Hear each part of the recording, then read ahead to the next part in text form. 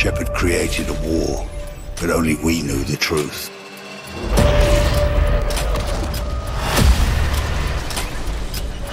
They say truth is the first casualty of war.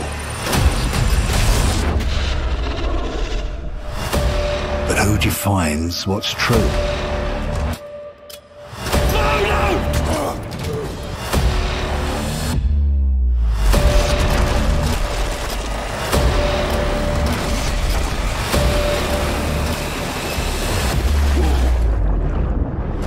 For years, the West's hypocrisy has made the world a battlefield.